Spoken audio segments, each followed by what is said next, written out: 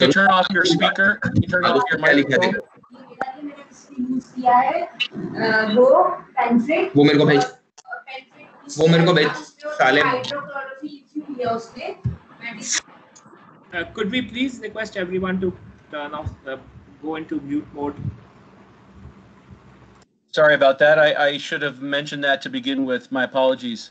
Anyways, we're in this together, and uh, today we're in this particular webinar together as well. And it's a great opportunity to discuss some uh, the important issues that not only get us to uh, greater integration of renewable energy uh, in South Asia and India, but also gets us to a place where we can think about resilience, preparing for these kinds of global crises uh, in the future. Um, I want to start off, of course, by by um, saying good afternoon to our esteemed panelists and participants. My name is Michael Satin. I'm the director of the Clean Energy and Environment Office at USAID in India, based at the American Embassy in New Delhi. And on behalf of the U.S. Agency for International Development, I welcome you all to today's uh, workshop. I hope everyone is keeping safe and healthy, as I started to say. I'm grateful for this opportunity to interact with all of you today. And there are two main, main reasons that we come together today and why I'm so excited about this opportunity. First, I really want to take a moment and congratulate the government of India and the Solar Energy Corporation of India for their efforts and commitment to further the deployment of renewable energy in India, despite all the challenges posed by the COVID 19 lockdown and its impact on economic activities. The government of India has remained committed to this initiative not only because it is the right thing to do, but they understand that going forward, if we let it fall, if we do not continue after it, then it has the potential of blowing up in our faces. And we want to make sure this happens and happens in a in a right amount of time. So we saw some extraordinary outcomes like the successful management of power systems during the nine-minute event on April 5th. This showed the resilience and flexibility of the power system to take on a significant amount of variable renewable energy um, uh, or demand. Uh, SECI concluded that the first RTC tender of 400 megawatts with a historic low first year tariff, the real time power market was launched, and several new initiatives were announced to support renewable energy, like, for example, the amendment to the Electricity Act of 2003, a big step forward for India that'll have ramifications across the region. The second reason we're excited about today is to reiterate the commitment of USAID to support India's renewable energy revolution and even supporting expanding this to other parts of South Asia through our new Asia Enhancing Growth and Development Through Energy, or as we call it, the Asia Edge Initiative, a significant pillar of the U.S. Indo Pacific strategy. Interestingly enough, or perhaps not too surprising, but certainly the case, the US and Indian governments have had a very successful partnership over a long time in the energy sector, going back to the 1950s. In 2009, our two governments established the US India Partnership to Advance Clean Energy, more popularly known as PACE, which was implemented in collaboration with the Ministry of New and Renewable Energy, the Ministry of Power, and other government of India agencies. Through the PACE-D program, USAID was able to make significant contributions to India's renewable energy journey, including solar resource assessments, investment in the first gigawatts of the National Solar Mission, building the ecosystems for green bonds in India, and supporting the widespread deployment of rooftop solar. All of these are benchmarks that say we're going in the right direction and we're moving at a reasonable pace, a pace that we want to accelerate now going into the future. And that's a part of what today's webinar is about. Today's webinar is being organized under the second phase of the PACE-D program implemented in partnership with the Ministry of New and Renewable Energy. The second phase of PACE-D, or PACE-D 2.0 as we call it. PACE-D 2.0 renewable energy is designed to help, st help states take advantage of the economic, environmental, and technical systematic benefits offered by renewable energy prepare discoms for the transition to a new energy paradigm, and, as you might imagine, improve markets for private sector investments in renewable energy technologies, a very incredibly important part of this whole renewable energy revolution. This will be achieved by making renewable energy technologies more economical and reliable to meet India's energy and economic security objectives. And the program has interventions in three separate but interlinked components. Let me tell you a little bit about them just to get your taste buds working. First of all, strategic energy planning. This is meant to improve renewable energy procurement planning by discoms through rational renewable energy target setting, improving understanding of value propositions of renewable energy to discoms business and service delivery, and establishing robust demand forecasts and renewable energy resources plans to optimize power systems at the least cost. Of course, this is always about making sure it's efficient. Least cost, best provision, accounting for the contextual environment. The second piece of this is scaling the grid connected distributed photovoltaic. This component will help discoms realize the benefits of distributed renewable energy resources. And thirdly, but certainly not last, just as important, innovative procurement of renewable energy technologies. One of the most important things we're going to do in the next several years is to make sure that the financial industries and that private sector and those who are interested and motivated to get into this area have the resources available, the capital that they can go out and make these investments and plan for the future. One important global trend has been the increasing use of auctions. As policymakers seek to procure renewables, based electricity at the lowest price while fulfilling other objectives. And right from the start, I'll be the first to admit, India has adopted auctions in its strategy for the national solar missions and expanded it to other renewable energy technologies as well, leading to record breaking low prices for solar and wind technologies. Leading renewable energy countries, including India, are focused on the design of auctions to achieve objectives beyond the least cost of renewable energy generation through solar wind hybrids, round the clock, renewable energy with energy storage to drive the cost of renewable energy to the system. So I'm incredibly pleased that today we have Mr. S.K. Mishra from the Solar Energy Corporation of India. Mr. Mishra, we are so grateful for your engagement with the PACE D2.0 Renewable Energy Program and driving system friendly procurement of renewable energy in India. PACE 2.0 worked with SECI to evolve the concepts, bring international experience, create awareness among key stakeholders on, on these new procurement options. In November 2019, the PACE 2.0 program released a white paper on system friendly renewable energy procurement in India. As mentioned, before I am so pleased, India has already moved ahead with the RTC tenders at scale. PACE 2.0 is currently working with Indian Railways to help them adopt new procurement approaches to meet their energy needs through renewable energy. Think how incredible it is in a country where rails are some of the most prolific and widespread forms of transportation, and that the property owners that are Indian Railways have investments all over the country in the form of not just rails and trains, but buildings and warehouses and residential properties accounting for their staff and making uh, life for their, their team that much better. We plan to be a part of Indian Railway's future. Today, we hope to drive discussions on the RTC tenders by hearing the perspectives of various stakeholders like SECI project developers, distribution utilities, development finance institutions, and an international expert. I hope this will bring more insights on how to further improve system friendly procurement in India. So let me just conclude by saying that our many successes have been based on partnerships, on a shared vision, on value, and on trust. This is true across the board.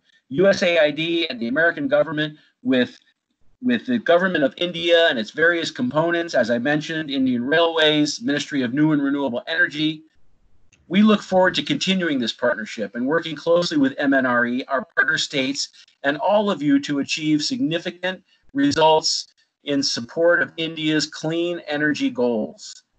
So, with that, let me just say thank you all for joining us. And let me be uh, bold to again wish you the best, the healthiest, uh, and the safest future for you and your family. And with all of that, I look forward to a robust discussion today and uh, presentations.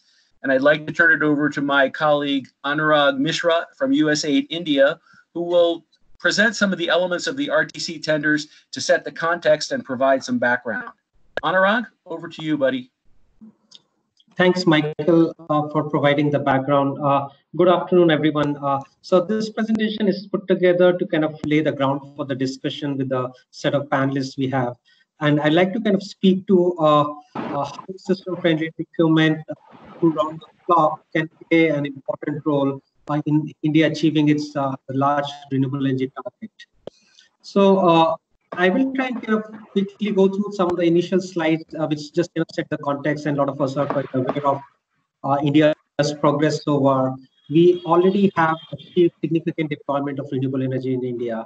Around 90 gigawatts is deployed. And in the last five years, we have seen that pace of deployment has increased. But on the other hand, uh, we also saw that the uh, it has also driven the cost of uh, solar and wind uh, coming down, and which just make them really cost competitive with. Uh, with the strong support from all the stakeholders, India has now the most renewable energy development ecosystem in the world, which is critical for India as we try and move towards 175 gigawatt goals and uh, future goal of 450 gigawatts by 2030. Uh, as we kind of significantly increase uh, the renewable energy mix in our total capacity, uh, it will have impact on different sectors and constituents. And that is what uh, I'd like to speak to uh, uh my next couple of slides. Uh, but before I do that, I think just a kind of a reminder, where do we stand in terms of coming to a place where uh, India's economic growth is driven through a clean and cheaper sources of energy. we have already achieved cost competitiveness, and now we're at the stage we are kind of trying to integrate renewables into the system. And that is where the whole discussion of system friendly procurement, round the clock power, or other ways of kind of uh, improving the uh, flexibility in the system uh, kind of comes into play. And that is where we're going to discuss uh, most of the issues which are coming up at the stage. Uh, if you are able to kind of uh, resolve these issues in a cost effective way, we can definitely move to the next stage as we all are planning to go to that. Uh, the three attributes of renewables, uh, variability, uncertainty, and location specific, are the three critical challenges for renewables to meet round-the-clock power requirement. And we today will discuss uh, how uh, innovative uh, procurement approaches can kind of drive that by providing a combination of technologies to provide round-the-clock power through renewables. we have a number of issues uh, which have emerged based on the current approaches. I will not say that the current approaches were wrong. They were really important for us to come to a stage where we have a significant deployment of renewable energy. We also have driven significant uh, cost reduction. But if we continue on these steps, uh, we will face a lot of challenges. And I highlight a few. The first is uh, as we increase the deployment of solar and wind, which are the highly variable renewable energy technologies, uh, we will bring more variability to the system, but that also leads to a very high integration cost. Second is uh, these will also improve or increase the burden on the grid management and operation, where the grid managers have to look for more reserves, bring more flexibility to other balancing resources, build new transmission capacities, and do a lot many things that uh, variability, manage the variability into the system. The third is uh, it will also impact uh, the existing resources. As you see uh, from the right-hand side green box, just an example where a state which has around 2000 megawatt of total kind of a peak demand suddenly adds a 700 megawatt of solar, you will imagine what happens when the solar is generating. Suddenly, you're going to displace uh, 700 megawatt of other resources, which is almost uh, one third of uh, the existing capacity and that will uh, have a major impact on the existing resources which are already contracted to serve for a number of years the other uh, three challenges uh, are basically uh, the struggle which discoms and consumers will have in uh, managing the uh, variation which comes through the renewable energy.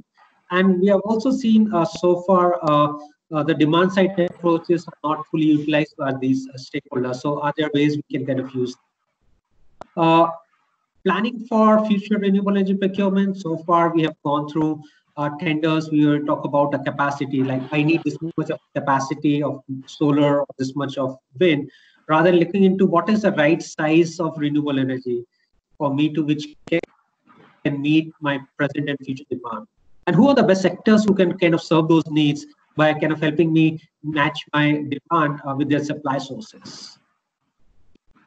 And the last point to uh, discuss is uh, while we have focused a lot on the uh, on reduction of uh, cost of generation through auctions and all, uh, but now we have to kind of move to looking into the overall cost of supply to the consumers, which includes the integration cost.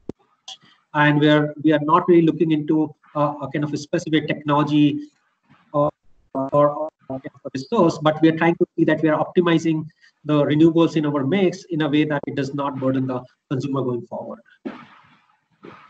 So uh, in this context, uh, definitely uh, system-friendly procurement provides us an opportunity uh, as one of the cost-effective solutions to address these uh, I I'd say that the number of benefits which are driven from uh, system-friendly procurement, uh, like uh, it will reduce burden on consumers and utilities to manage the variation which comes from renewable energy. It will also kind of uh, uh, help uh, us kind of manage uh, all our need uh, uh, depending on the time or the year where we need different types of capacities to meet our demand. It will also kind of help optimize the overall capacity as well as sources which are required or which may be the most uh, the best fit to uh, provide for that kind of a, demand in the system. There are a number of ways uh, the system-friendly procurement approaches uh, can be adopted. Uh, I listed a few, uh, and they're called differently in different places. These are kind of variations of one each other. like round the clock power, time-based procurement, hybrid solutions, merchant hybrid, and Today we have uh, Fabian, uh, one of our speaker, who will touch on some of these uh, aspects of uh, uh, procurement, uh, bringing some of the international experience to this. So quickly moving on to our experience with RTC in India. this is very recent development. Government of India has come out with the guidelines for round the clock power.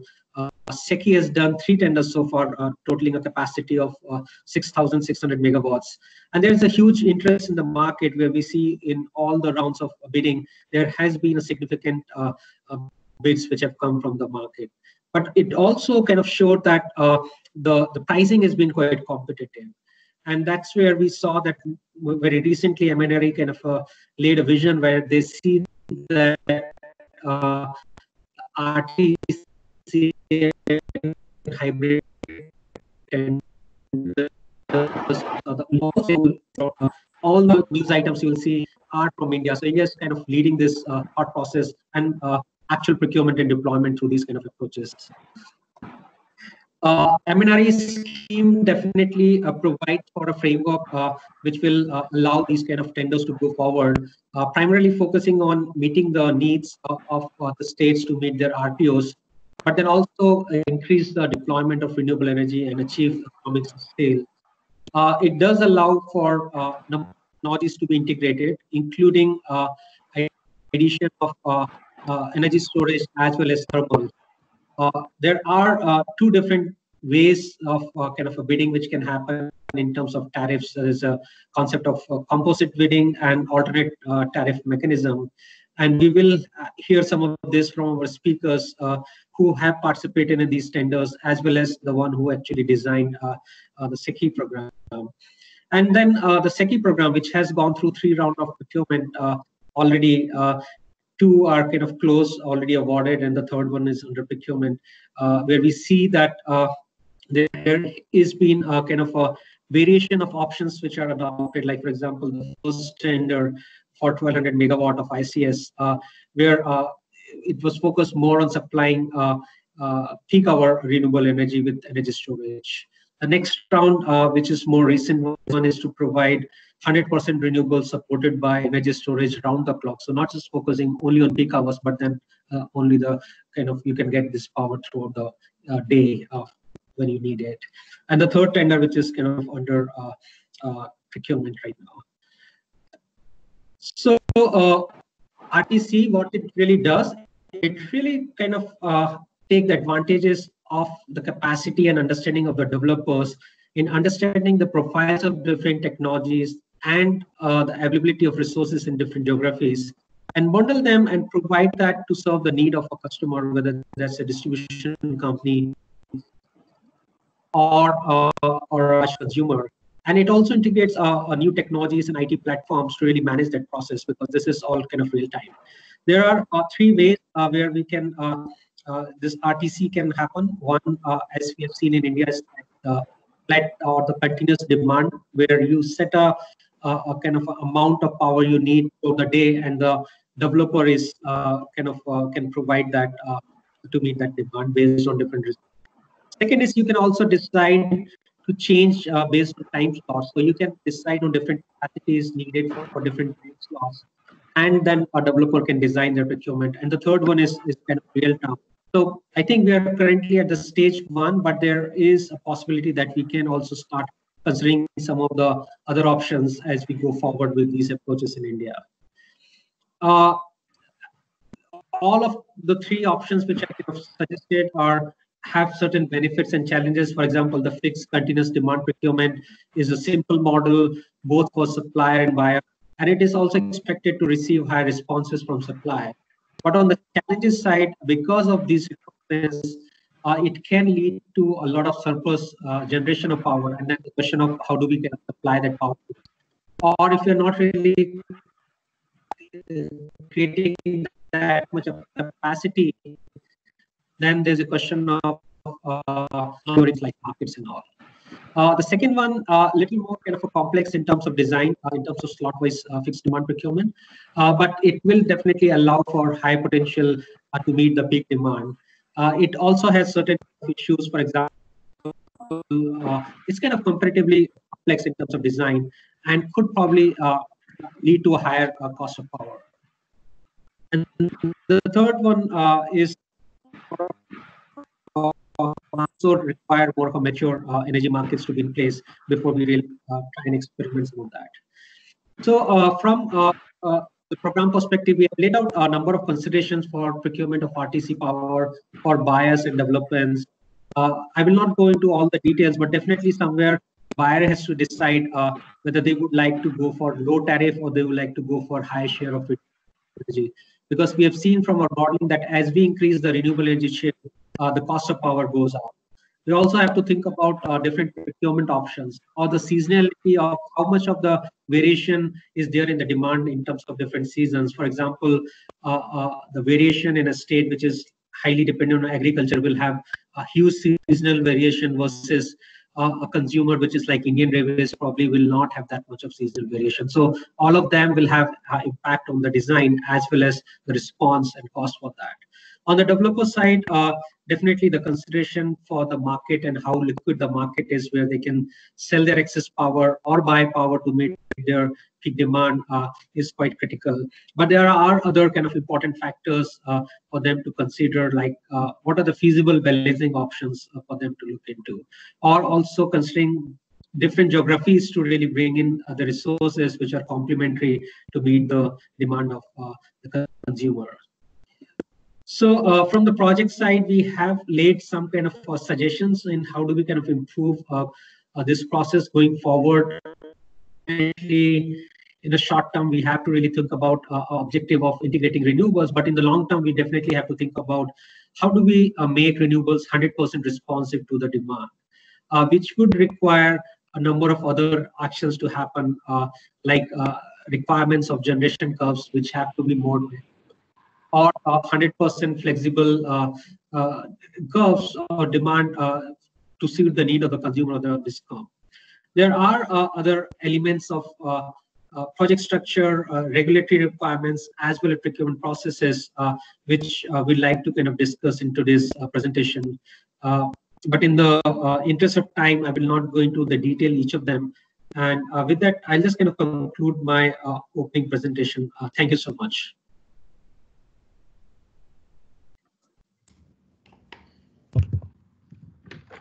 Thank you, Anurag, for sharing challenges and current approaches, as well as sharing uh, the solutions for system-friendly procurement.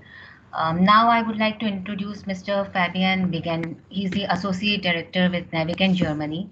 Fabian is an expert in energy policy and power sector reform, in particular renewable energy and energy efficiency policy and energy procurement. He earned MS degree in International Political Economy from the London School of Economics.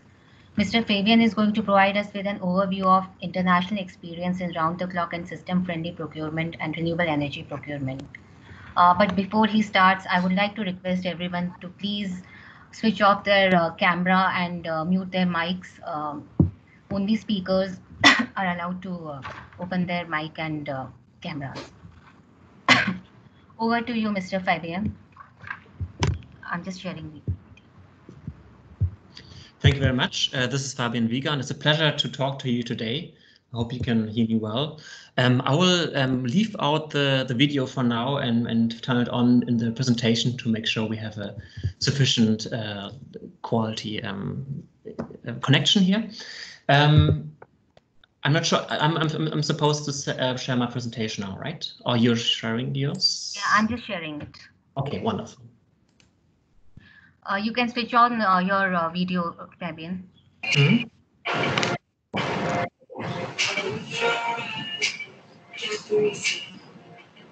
All right. Thank you so much for. for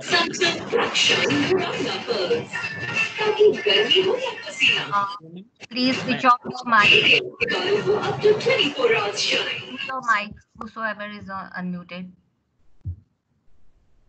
Thank you. Thank you very much. Well, thank you so much for, for joining this presentation on system-friendly procurement um, for around-the-clock um, auctions and basically looking at international examples and experiences from that. And um, I mean, we, what we can see basically is that we see um, with higher shares of renewable energy in power systems worldwide, new approaches are needed to meet these challenges in our system. There will be responses in the demand side integration part, in the grid integration, strategic energy planning, market integration. A holistic approach is needed, but particularly in procurement, there's has a large role to play in addressing these challenges. And around the clock renewable energy procurement is a major field of engagement intervention for that. So what we see that there are basically three types of benefits uh, of round the clock power procurement. And um, that's something that, that um, Anurag also alluded to already. It's basically that renewable energy can be made more dispatchable to more closely follow the supply and demand curve. That renewable energy should become more firm, less intermittent. And this can be done through on-site measures or to different locations. And that renewable energy should um, be more managed by the seller actually, and um, that the generation management should be more in the realm of the seller, of the developer, um, that might know certain elements of the market and of, of generation patterns much better than the buyer. And I will show you a couple of examples from around the world where elements of this round-the-clock procurement have been implemented already, although I have to say that few countries went as far and as were as modern in their approaches as India. So first example is the example of Chile. Here we can say that it was a major goal of um, the buyer to make sure that the duration um, patterns would more closely follow the demand patterns of the different distribution companies. So what the distribution companies did, they basically forecasted the long-term demand patterns. They put a lot of effort in that to somehow find out best how demand patterns would evolve over the next 15 years. And then the regulator, regulator aggregated these projected supply requirements and conducted an auction. And what was special in this case, on the left hand, you can see that they basically had um, three different supply blocks. So bidders were not just bidding to produce power all the time, but they were bidding for different blocks to which they would produce power. And these blocks were in the end, therefore, following the demand requirements of the distribution companies, not in real time, but rather the projected demand. And um, bidders could therefore achieve higher prices, for example, at, at for example, an evening peak block, where um, yeah, it might be more difficult for, for certain um, suppliers to provide power than during um, noon of the day. What we can see is that um, that developers basically were pledging, they were promising that they would bid, uh, that they would not just bid, but they would also provide power during this time of the day. And if they would not uh, meet this obligation, then would have to pay a penalty or in this case, actually, they would simply have to provide power from the wholesale market as an alternative. What was the outcome of this? So you can see that actually in this auction that happened 2017, all the power that was con contracted in all the blocks was for renewable energy. And that was a, very new inter interesting development because in the past, usually, um, usually certain evening blocks or nighttime blocks were often supplied by power from from uh, conventional sources. And in this situation, renewable energy producers and conventional sources were competing together for these blocks. But nevertheless, all the um, projects that were being um, awarded were from renewable energy sources. And the price was also quite low. So I think we can see that an average um, contracting prices were about 2.5 rupees per kilowatt hour. That was significantly lower than average spot market prices. Of course, we saw that in certain blocks prices were higher, but the overall um, distribution of prices was still quite promising. So is Chile an interesting example to learn from? Yes, because prices were um, so so low and, and therefore the auction was a high success in terms of um, price reduction and in terms of providing more dis uh, dispatchable power. Um, it is a bit too early to see to what extent um, this will actually work in the practice because most of these developers are currently um, still building these projects. So we have to see whether they can really meet the supply um, uh, the, the supply needs that they promised originally.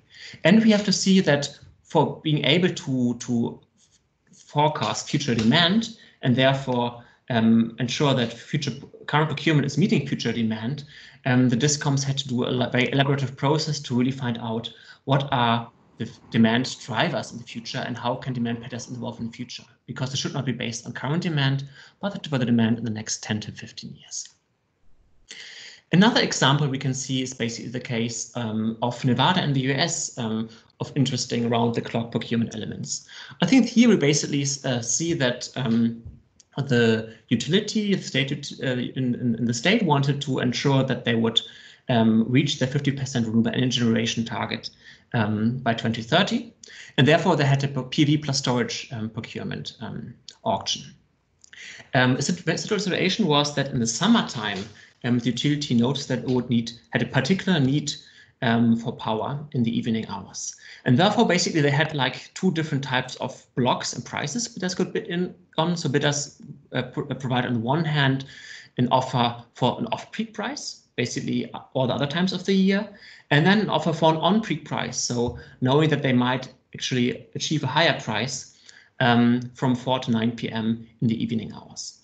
And yes, exactly in the end, um, these on-peak prices actually achieved in Nevada were six times higher than the off-peak prices, um, but therefore bidders ensured that they would be able to provide power through storage in these evening times. So overall prices in Nevada have been extremely low as well. So the off-peak price uh, ranged between 1.6 to 1.9 rupees per kilowatt hour, and the on-peak price, however, was rather high. So the price to supply power during um, the summertime in the evening was from 10.4 rupees to 12.1 rupees per kilowatt hour. So what we can see here, we can learn from that. Also here it's the case that this auction procurement was rather recent, so projects are still being built. What would be a way to um, reduce um, the rather high and on-peak prices in summertime? I think in this case, because the on-peak price is only paid in summertime, and bidders are basically forced to to make rather expensive um, investments into battery storage um, for covering this evening peak, which are always only being like more more um, compensated in the summertime. So I think by not maybe using this on a, on a seasonal basis, but having it all year round, actually prices could have been reduced a bit. That's also a bit similar to the situation um, in SECI for around the clock tender um, in India. We've seen where basically um, there was competitive procurement um, for for um, this 1.2 gigawatt um, ISTS connected projects with assured power peak power supply in India. And India had also several um, peak blocks, um, so a morning peak block and an even peak block, for which they basically um, had different different uh, different bits, and we can see that during this peak blocks, the prices were considerably lower than for the off-peak blocks. What we can what can we see here that it might have been I mean the the, the supply blocks that that um, SECI asked for from the bidders were rather long, right, until 12 o'clock at night. And we know that that um, the more you basically uh, in, include um, um, late uh, evening um, late late evening um, um, production obligations that actually um, the longer the, the storage um, components you need for that um, with the batteries, the higher the, the bits, right? So it could be make so maybe for, for SECI to, to look at this very long supply blocks in the evening um, to have very precise data about that and to see to what extent maybe shorter um, blocks in the evening could reduce a bit the, the, the cost of storage and therefore reduce the overall um, bits. Another important element is of course here that bidders need to do a good job in, and the, the duration um, the buyers as well to really forecast both generation patterns, demand patterns, and what um, what PACE-D is actually currently doing. So this program here is actually also supporting discoms to better forecast demand patterns and therefore better assess what would be a good block in the evening, how should, long should this block in the evening be to um, provide peak power. Another interesting example is um, the idea of virtual power plants and aggregators. And if we have a look at the situation in, in, in Germany now, we can see that there basically is um, a virtual power plant um, that is um, bundling different um, renewable energy generation, demand, and storage assets, and thereby virtually is providing the power of a power plant. So a control center operates these connected assets and it is um, dispatching these um, assets basically based on on trading um, on two markets. And um, there are basically two revenue streams for these type of power plants. On one hand there is um, the reserve market. So um, by providing reserve capacity the grid operators are providing certain payments to these virtual power plants. And the second option is to simply sell power on on the wholesale market. And th through basically yeah like operating this very dispatchable, geographically um, um, dis distantly located power plants is in the end through some sometimes complementary um, generation profiles, sometimes different um, demand and supply situations in different different regions. It is really able to provide rather firm power, um, although it is combining rather um, dispatchable plants. Um, what we can learn from from that case with virtual power plants is that in, in, in Germany. I think it was quite successful initially to really provide firm reserve power um, through this bundling of, of components. Um, however, what we would usually need in these cases, we would need um, a rather liquid power market or reserve market to which these, these um, virtual power plants then can sell to, or alternatively, we need like long-term PPAs with large consumers that see an additional value in um, this dispatchable power and are willing and able to pay more for it. We can see that India also has some examples already and some experiences with aggregators. Um, so, for example, and and I think it's particularly interesting that that um, India has, through um, a, a, large geographical um, um, um, system and variation of the system, it has actually very complementary feed-in patterns, often for onshore wind at different locations, or even for solar and wind at the same location. some actors already play the aggregator role. In, in India, for example, SECI is already today as a demand aggregator. For state comes to to um, to better, better financing conditions for some of these we can see that some these these um, powers uh, power plants um, of dispatchable um, th solar uh, or thermal power or therm thermal power actually bundled currently with solar PV and we also see that there are currently some banking arrangements between discoms to take advantage of seasonal um, variations. And final presentation I want to do on, a case is, another case from, from, from, an Indian example, actually, you might be well familiar of, is, is the idea of physical hybrids, where basically by physically co-locating solar and wind farms and sometimes also storage um, um, elements at one location, you actually can have three examples, uh, three three advantages. You can have on the one hand, you often have a more efficient use of land. Um, you can lower transmission um, costs, and you usually have uh, um, a more firm power and um, therefore reduce balancing. कुछ और दूसरा दूसरा mouse किसी PC से उठा के from from this Indian um, physical um please your mute your mic hybrid sorry mute all yours mute yourself Thank you. What are learnings from the India's um, physical hybrids? Um, we can basically see that prices that were achieved in in in, in SECI tenders 2008 and 2019 were rather low. they were only a little bit higher than um, than solar only um, tenders, but were basically bringing along much more benefits. For example, the lower um, grid connection costs. Um, and there are several sites with very good and often complementary solar and wind resources available in India.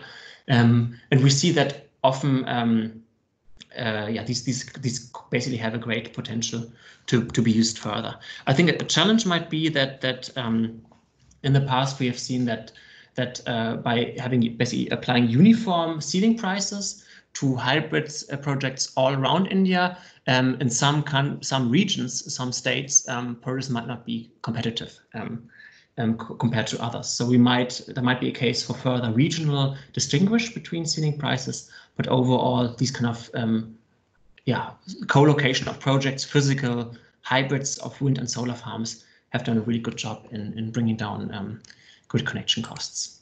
So what can we learn as conclusion here? I mean the round the clock um, principle is, is like particular to India because it is like a very modern approach, but we can see that very, very system friendly approaches are also piloted in other countries. And um, I think there's something we can we can learn a lot from India, but also some elements might be interested to be to to to be included in the Indian discussion as well. And the key takeaways here is that that um, yes, um, RTC procurement elements are being on the rise worldwide with uh, higher renewable energy levels um, a challenge is that often these elements are rather new. Um, the procurement auctions are rather recent, and therefore sometimes it's, it is you can make already early assumptions on the prices which are achieved in these auctions, but are usually quite promising. We cannot let make so many assumptions yet on how reliable um, these these projects were and actually supplying the power we needed because many of them have not been built yet. Um, we can see that time-based incentives um, we can really increase the supply demand match um, and reduce intermittency of rare renewables. But that only works if we have sufficient information on how demand patterns are evolving over time. And when we have a system where we can recognize and and um, and, and pay for this value of more dispatchable firm supply. Virtual hybrids ag aggregators enable dispatchable renewable energy for flexible power and hybrid projects can reduce um, the transmission costs of projects by co-locating them. It is very important that we understand that system integration of renewables is basically an area where different types of power sector markets and regulation have to work together. So yes, we can achieve a lot in round-the-clock procurement, but overall, we have to have, need to have more market form. We need more liquid um, wholesale markets and other elements, basically, to ensure that the overall power system becomes more flexible. Thank you so much and look forward to the discussion.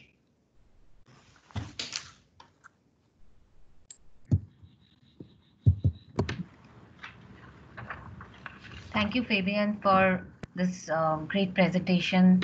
Um, now I request all the uh, attendees to please share their questions in the chat box. Uh, we'll be taking up later after this uh, panel discussion. Now I request Mr. Ronnie Khanna to moderate the panel discussion on RTC, its meaning and opportunities for the Indian power market. Over to you, Ronnie. Uh, thank you, Yogita. Thank you uh, so much to our presenters for having uh, laid down the context so well. Uh, what I would like to do is as follows. Uh, I have uh, a set of uh, questions which I've already prepared, but we would also, uh, as the webinar proceeds, we would also request the participants to provide their questions. I know some of you already have, but kindly do this, do so through the chat box, and we'll try and take as many of them as possible as of now. I would start by inviting our panel uh, panelists. Uh, first of all, can I invite Mr. Mishra? Uh, Mishra sir, if you um, if you are online, can you please? Um, yes, thank you, sir. Welcome, sir. It's nice to see you. good afternoon. Good afternoon. then can I um, invite Mahesh, Mr. Mahesh Vipradas? Mahesh, can you unmute yourself and, uh, if possible, share your screen? Hi, good afternoon. Good afternoon. Yeah, Fabian is already there. Thank you, Fabian, for joining. Uh, Mr. Abhishek Ranjan. I don't know if he's locked on and if he's there. Uh, Surbi and Deepak. Hi, everyone. Yes. Uh, so, thank you all for joining us. Uh, this is how I propose to uh, and, uh, you know, uh, conduct this webinar. I will first uh, give each of you an opportunity to speak for three to four minutes. The idea would be uh, to, uh, uh, you know, please make your opening remarks about uh, the topic of the webinar.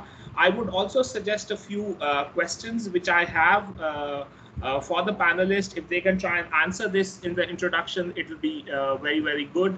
Uh, subsequently, what we will do is that uh, once we've gone through this one round of, uh, you know, these uh, comments and uh, remarks, we will then uh, try and take specific questions or uh, we will uh, subsequently we can have a more open discussion or take in some questions from the participants so first i'd uh, start with uh, mishra sir mishra sir your comments but before we start i have a couple of uh, you know a couple of questions which if you could address as a part of your introductory remarks one would be what in your view is the long-term vision for RE in India and how does RTC play into it? I mean, you know, what do you see as the role? How does that fit into that vision? The other is, do you see a majority of the, I mean, considering the success that's there, do you see a majority of the uh, tenders that are coming out in the future coming out uh, through uh, the RTC route? Uh, yeah, these are the two main questions. If you can uh, try and address them in your remarks, that would be really nice. Thank you, Ronnie. This uh, and before I start, I would like to uh, for a wonderful presentation, Mr. Fabian. is a wonderful presentation given by him. Earlier also, we have seen the presentation of Mr. Fabian and uh, while designing the standards, both uh, around the clock and uh, power tenders.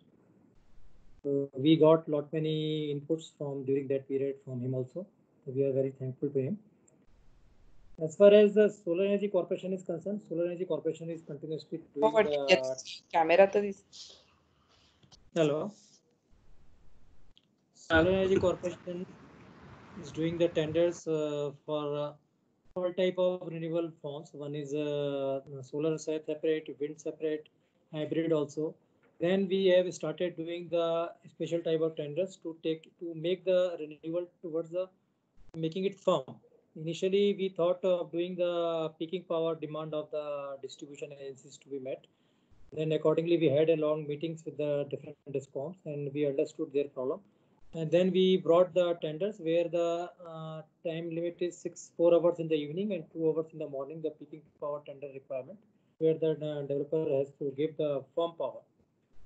Then afterwards, uh, one of the discoms has asked, especially for the round uh, uh, round the clock renewal, means continuously renewal only. There is no other support from thermal and all. So based on that, we have designed this 400 megawatt uh, round the clock renewal. And uh, the concept uh, initially it was based on the power base, then uh, discussion with the developers and uh, different people because of the cost issues. Uh, then it has been converted to the energy terms. And the present tender is uh, 80% is the annual CUF and uh, 70% is the monthly CUF. That uh, and uh, penalties are very huge. If not meeting the acceleration uh, clause will not be implemented for that particular year. And in the case of uh, uh, peaking power tender, uh, this uh, if 100 megawatt tender is there, then 300 megawatt hour uh, daily you have to supply, 200 at the evening, 100 in the morning. And uh, there is a 80% monthly CUF is also there. It is not no yearly CUF in all these uh, episodes. So these are the ways we understood the issues. We our ultimate aim is to make the renewal is a complete replacement of the conventional power. That is the aim. But since because of the technological issue, cost issue, we have to go slowly on that. So we thought of going in these two modes. The next, uh, we are thinking of the what uh, he, his Chile model, what uh, Mr. Fabian is, was giving the presentation, slot wise.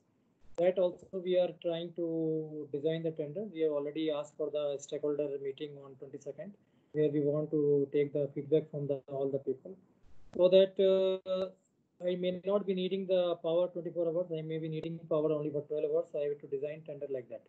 But I try to make it more firm that power instead of uh, too much intermittency and all these issues. So these are the our thinking, and we are working on that. And as far as the round the clock rate is very uh, good, and uh, demand uh, requirement is also people are for such tender. But that doesn't mean ki we are doing only round the clock. We are doing all type of tenders. Everything's uh, every place is different requirement. Currently, we are working with one of the state for the their agriculture needs, so that we are doing plain solar uh, for the, that is also a huge capacity by segregating the uh, agricultural feeder. So these type of uh, things will uh, continue to come, but our main aim is to make it more firm and slowly, slowly make it dispatchable power without any interruption as per demand. These are the uh, initial uh, my comments, and then when question comes, I will answer. Thank you. Uh, thank you so much, uh, Mishra This was really uh, insightful, and it, it's glad, I'm glad to know that you know there is a whole bouquet of uh, uh, you know the uh, procurements that you're looking at to serve the different needs of the of the consumers and the discoms. If I may now take this opportunity to move to my second panelist, is Mahesh there? Mahesh, I can't see you. Hello, Mahesh Vipradas? Yes, I'm there. Okay. Uh, Mahesh, uh, uh, with the overall background that has been uh, provided by the presenters and by Mishra sir, I uh, wanted to, uh, you know, take you back to a discussion that we had the other day and and and, and reconnect there. And I think this is something which the audience will really benefit by. You know, we are introducing a new, a new kind of an instrument for procuring power and obviously that instrument has to fit into the overall regulatory and uh, policy framework that India has. So I wanted to know your views going forward that what do you see are the key challenges that will come when you take this theory uh, uh or you know this concept that you have RTC and you start implementing it on the ground. Uh, what what what uh, do you think developers will will face when they actually win the bid or or, or want to uh, bid for it and, and they're preparing for it? What do they need to look and get more clarity on? Yeah, uh, good afternoon, everybody.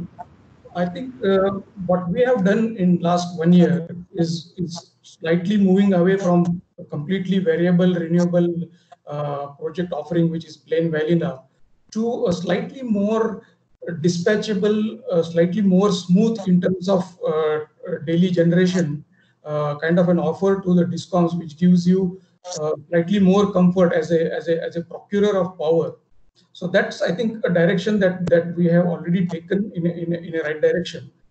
Uh, accompanying that, we also need to look at how to make this work in terms of the regulatory framework that we have today, which has slight uh, bottlenecks which which would come up when we actually go and implement these projects on ground.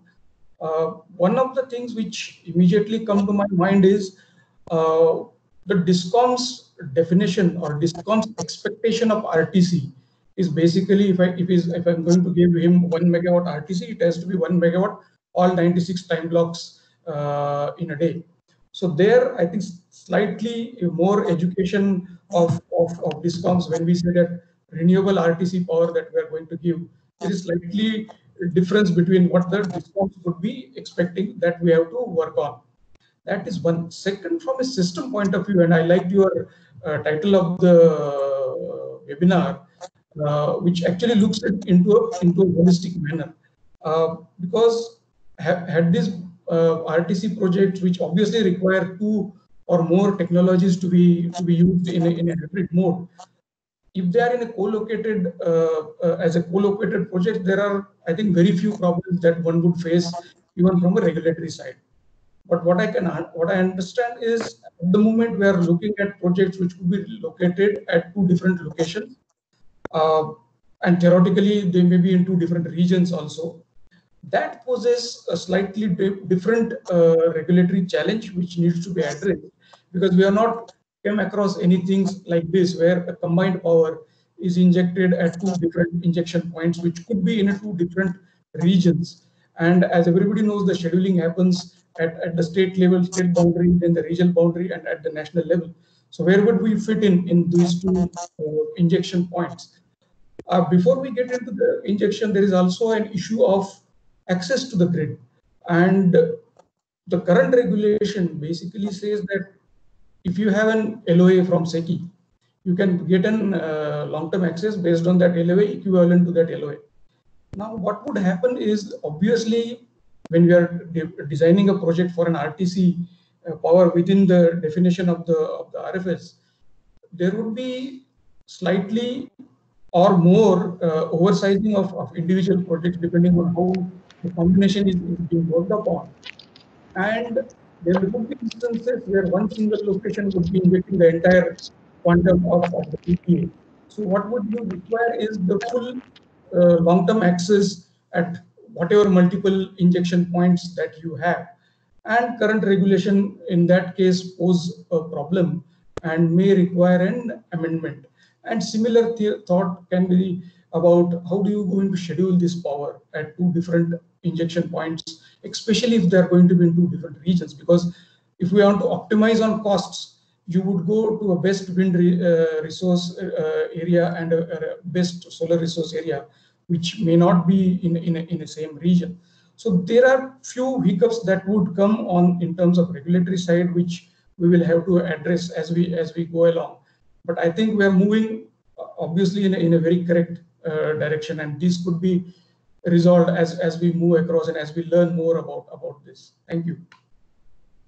Uh, thank you, Mahesh. That's uh, that's insightful, and I would, uh, as a uh, as as as we go around, I would really uh, like it if uh, Mishra sir could also throw some light on the thinking that SECI has around some of the problems that you have already addressed going forward in the next round.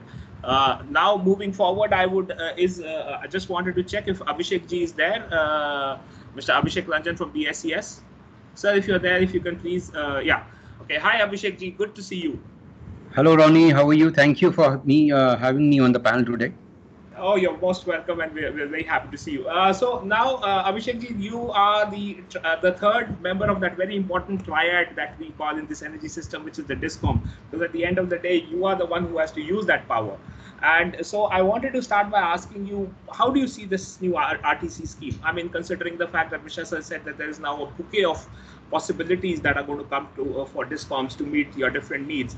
But uh, how do you evaluate it? What do you see uh, the benefits that would accrue to the discoms?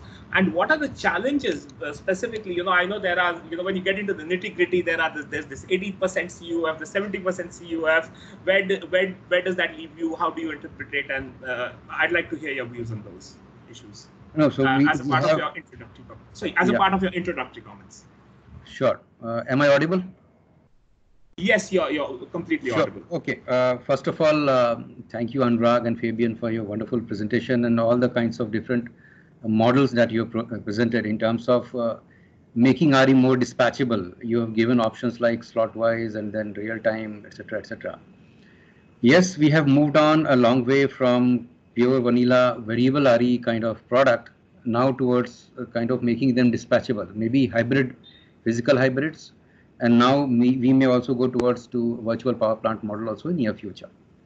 Now, having said that, now that we are aware that RE can be made dispatchable, it can be made firm, there are multiple ways of doing it. There are multiple ways in which you can mix them. Maybe solar, wind, storage technology, different technologies are there in many proportions, depending upon what kind of product that you desire.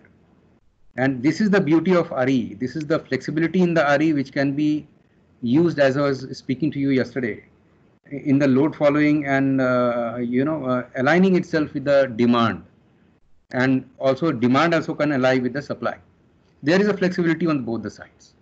So with this beauty RTC product which has come in the market is a step ahead I will say and uh, definitely I'll not go into the nitty gritties as of now as you said this is the opening remark but RTC product on the way of establishing flexibility, on the way of establishing reliability and uh, addressing to some extent the problem of variability is a very, very good step. And uh, some good designs have been tried to be put in like 80% annual CUF and 70% uh, monthly CUF. It has to be looked into that the demand profile of different distribution utilities would be different given this nation of multiple climatic zones. So uh, the beauty of RE is it can be, uh, you know, customized basis the requirement and uh, also optimizing upon the cost. So the ingredients, when you mix them in a particular proportion, also determine the cost. If you have very slot-wise firm baseload kind of power, that will be the costliest one. Second uh, is the, the, the other extreme end is complete variable RE as a must run. I mean, it changes as per the force of nature. That is the second uh, extreme. So in between, where do you want to uh, put yourself is also a function of what kind of cost you want to pay. So then comes the question of resource planning. What is the optimization result? What is the most important or most optimized value for you? This could be different for different distribution utility. I'll take a pause here more when we discuss. Thank you, Abhishek ji. Thank you so much. Now, uh, keeping in view that we would like to get a more uh, rounded, uh, you know, keeping a la larger view uh, from our panelists, I'll move next to Surbhi. Uh, hi, Surbhi. Can you hear me? Hi, can you hear me? Yes, I can hear you. Yes. Surbhi, now you come in with a very interesting profile into this discussion because you're you're not only a, a sort of a banker, but you're also a development banker. And I know that has more roles than just looking at the IRR of uh, projects and looking at whether what, what the DSCRs are. I mean, it has a more development angle to it. So uh, let me start by asking, looking at a macro picture, how do you see uh, the impact uh, of uh, RTC on the overall power market? And how do you see the impact in terms of, uh, and also how do you see the impact on RTC of the you know, of the reforms and the new initiatives that are being brought in from the power market in terms of, you know, the uh, trading, uh, you know, that's uh, opened up, you know, instantaneous trading, etc. That's happening right now, uh, real-time trading. So uh, if you could uh, throw light on these. And the other question I had from you as a financer, what, you know, an RTC pro uh, project, ideally, which what Mahesh mentioned, would have multiple assets all over the place, and some of these assets might have, you know, uh, been financed earlier.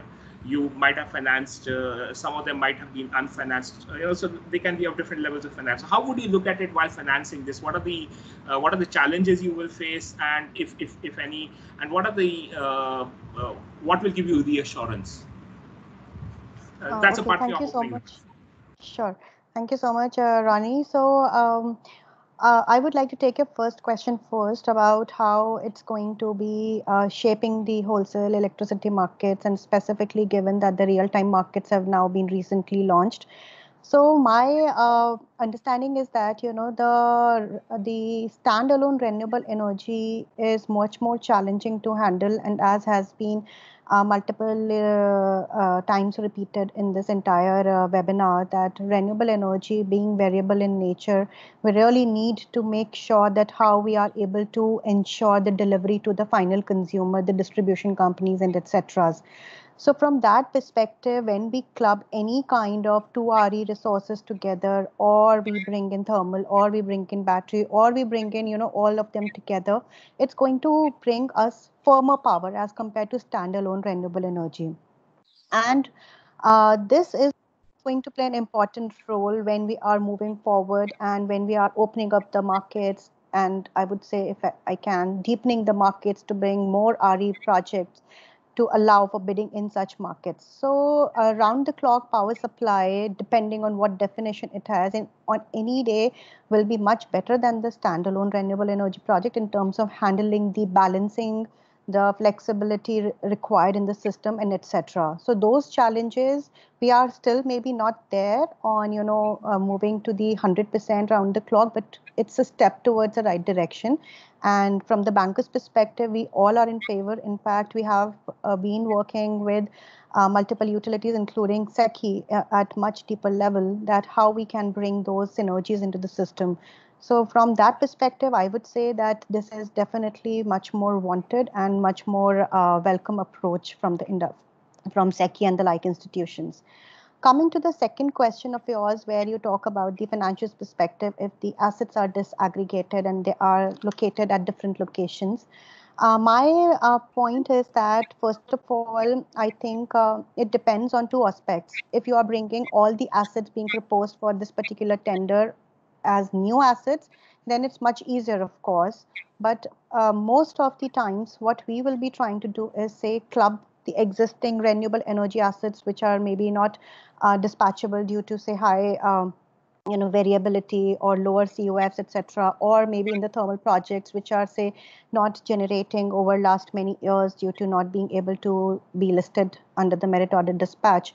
So there are different financials which would have already come into the picture. From my perspective, and if I can say to a bigger extent from the commercial bankers who are out there in the market, what would be most uh, important for consideration would be that how the revenue profiles from the entire project would look like. Our financing could be ring fenced to the assets that we are being we are supporting. But when we are looking at that, this project will ensure revenues and net uh, inflows of cash so that the repayments could be made. The entire project has to be looked in a holistic manner. So there are multiple moving parts when a financier will look at it from that um, you know perspective. So I'll stop myself here and over to you, Ronnie. Thank you, Surbhi. Thank you so much. Uh, uh, moving on, uh, we'll now again go to the next uh, panelist, uh, Deepak. are you there?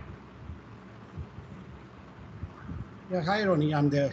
Hi, Deepak. Uh, Deepak, so, you know, uh, I will not uh, dwell upon the uh, issues that we've already talked about. Uh, basically, uh, I wanted to ask you a couple of questions which were there was, you know, we talked about the fact that that you know meeting these requirements under the RTC power will require an oversizing of the assets most of the places if you're looking at an only RE.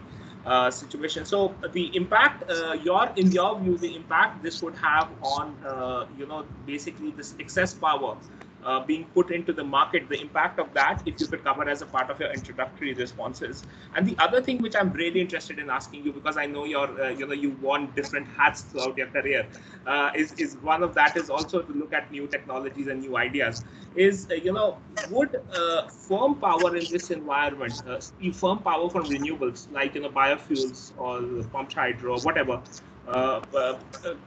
create an opportunity for these uh, technologies to develop also parallelly. Sure. Thanks, Ronnie. So uh, maybe I'll I'll uh, answer your second question first, uh, or or even before that, just half a minute of introduction in sense of what we believe is the way to go about it, because that would inform the other two questions. So uh, this is the first and a very, very uh, right effort by SECI to get into RTC kind of a construct. And uh, we have started, made a very good beginning with 80% annual CUF construct and a 70% monthly CUF construct. So first we'd have to acknowledge what it will do for the discoms. What it will do for the discoms is bring down their challenges by a significant uh, level. So in a typical plain vanilla wind or a plain vanilla solar construct, wherein the CUFs are anywhere between 25 to 35 percent. They are left to manage the remaining uh, 65 to 75 percent of the time blocks on their own. And even because of very limited uh, uh, uh sort of RE assets on the other side, on the generation side, the variability is also a lot more.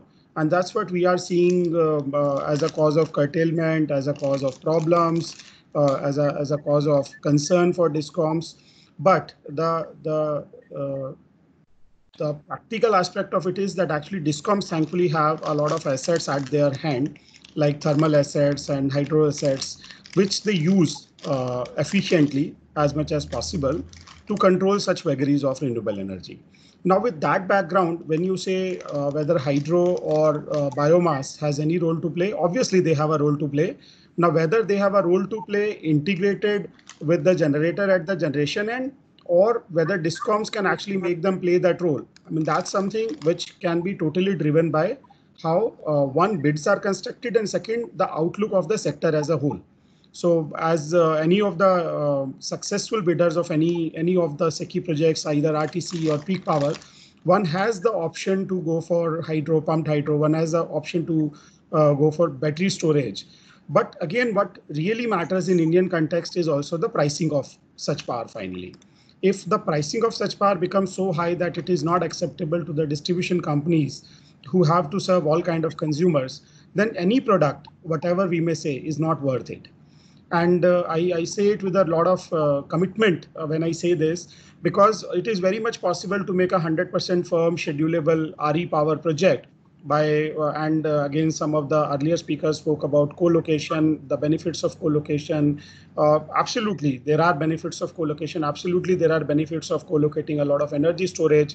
But is indian system one ready for it in a way to be able to pay for that kind of investments? And second, do we even need those kind of investments when actually we have a lot of excess uh, assets sitting elsewhere in the system? So we have to really answer some of those questions first before we really deviate a lot from what we have already found a success in as the current RTC construct. Uh, now coming back to your first question, what will be the role or how will access power play its role? So fact remains currently Indian markets are not very deep. They are relatively shallow. But again, we have a very, very firm view. And with the introduction of real-time markets just about 15 days back, it's very, very uh, difficult to really pinpoint whether it is successful or it is not. I believe we are moving in the right direction, opening up multiple kind of frameworks to be able to trade in market, to be able to deal in market. And then at the same time, there is a talk of ancillary service market. There's a discussion on green energy products coming up in market with all the exchanges in India supportive of that kind of interventions. So I do believe whatever access power sale uh, whatever excess power gets generated, there will be ample opportunities to be able to sell that power into the marketplace. Uh, uh, pricing obviously would matter as as in any marketplace, and uh, yes, generators have to take uh, that risk when they are bidding for these projects. I'll, I'll take a pause and see if there are any further questions. Thank you, Deepak, for that very comprehensive reply. I mean, I must say that I learned a few things also. I mean, quite a lot, for lot of things from your answer. Now, what we'll do is we'll go to uh, look at some international experience, and I'll uh, to finish the round. I'll talk to Fabian, and then we'll do some random uh, questions across the uh, panel. Uh, Fabian, uh, you studied. I know that you you've done authored a number of reports related to your system-friendly procurement. You've seen the markets all over the world. And what I wanted to do was put you in a tight spot, a, a, difficult spot, which is to ask you, what do you see are the best practices across the world, and what do you see are uh, comparing them to what we're doing in India right now? The areas that we could adopt some of those best practices from across the world. Now, keeping keep this in uh, keeping in mind the fact that Mr. Mishra has already said that we are now looking at not RTC as not the single one only product that's going to answer all the needs of the consumers or the discoms, but you know where do you see RTC uh, going from here? Are there places where there can be improvements and uh, what uh, we can learn from uh, international experience? Hey, yeah, to do so. And thank you so much for the wonderful um, statements by the different participants. Um, thanks for putting me to the tight spot because yes, I agree. We have to be careful that we acknowledge that different countries have different um, objectives when introducing system-friendly procurement, right? Some countries have strongly increasing um, demand or shifting demand patterns, um, towards evening peaks maybe, and um, other countries already have a lot of power. Um, so for countries where they have like a strongly increasing demand, for them it is particularly important to to basically improve this um, demand supply gap, right? While in other countries which already have excess power, maybe the, the intermittency of the power is more an issue. Then we have different countries have different situations in terms of power, power system flexibility, right? So India has the advantage of being a very large country, which is already usually helping to some geographical smoothing already. And other countries in, in Europe, for example, um, which are well integrated with their neighbors, they can basically use this larger system to better integrate the things in the power system. Countries that are smaller are rather insulated are facing much more challenges. And of course, then is also a question, how much renewables do we have in the system, right? Do we have rather small shares or do we have it like in India, increasingly very high shares? And all these different, like these different situations basically kind of require different approaches. And what I liked about the, the, the comment of, of Deepak right now was basically to make sure what is, how much are we willing to pay for it and what is the best solution for our country, for our system? And that is both in terms of reliable supply but also cost efficient supply. Let me give you the example. So I think um, we can see that that um, in I think there's a lot of discussion right now on on 100% renewables. I think which is a, which is very good, and I think in the round the clock uh, tenders asking for 100% renewables. We should not forget the demand side. So, for example, an interesting thing we see in in in, in the state of New York and in, in uh, what Con Edison does, the American utility, is that they basically have to decide we do we want to um, do we do we need to expand the distribution grid what they did in the end, they basically had an had a procurement where they didn't just procure generation power, but they also procured demand um, side services and storage solutions. And therefore, suddenly they basically had a solution where the, the, the need for distribution grid extension actually was falling. So I think something similar is here also the case. And if you if you basically have to decide, is there if there's a particular time block that you know to provide generation will be very, very expensive. You can also look at opportunities to maybe even ensure that you have demand side management service during this time and therefore need reduce the need um, to fill that demand gap. So there are different different different experiences. Um, something I also want to mention is kind of the flexibility, and I think that is an, an um, issue also that that Surbhi already alluded to when she said basically, what do we do when we basically are now merging are now are now um, aggregating old and new assets together? What are challenges from the financing side?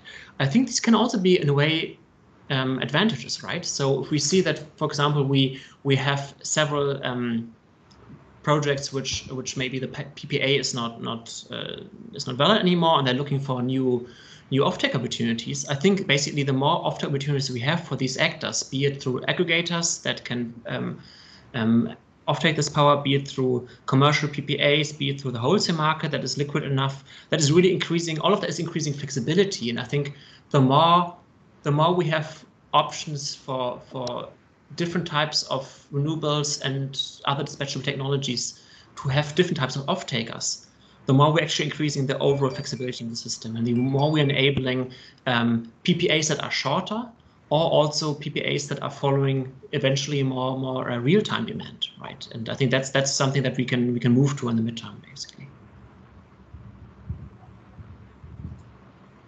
Right.